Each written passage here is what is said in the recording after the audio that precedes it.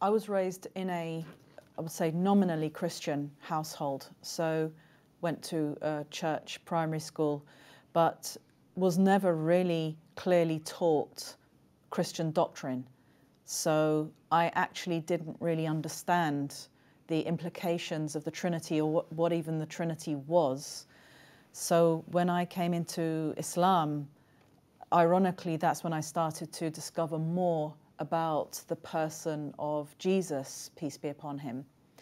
And uh, I went back to the Bible because I had never read the Bible growing up, and uh, went back to the Bible and started to discover about uh, what Jesus was talking about in terms of embarking on a spiritual path. That's how I saw it.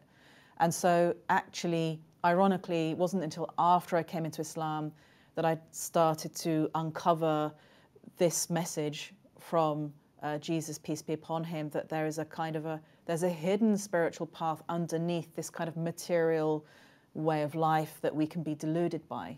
So um, I didn't have a I didn't have really any kind of battle between previous and and after converting. Uh, it was all quite a smooth transition,